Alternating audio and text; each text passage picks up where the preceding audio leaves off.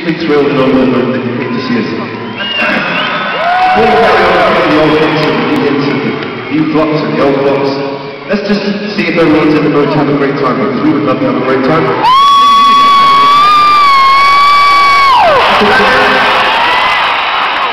We played about 87 concerts on this, on this tour now, and I think if you play your cards right, you should be ranking number one. This audience is not.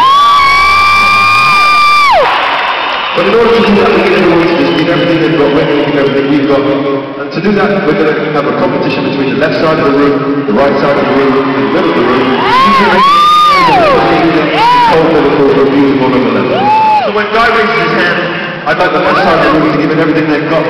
When Jonny raises his hand, I'd like the right side of the room to give it everything they've got. Will raises both his hands. Don't be scared. Just give it everything you've got in the middle. Okay, then we'll, then we'll play yellow.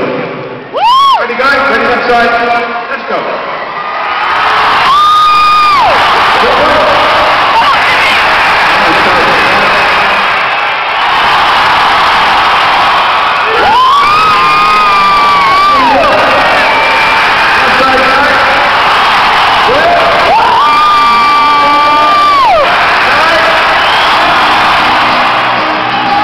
Okay, here we go.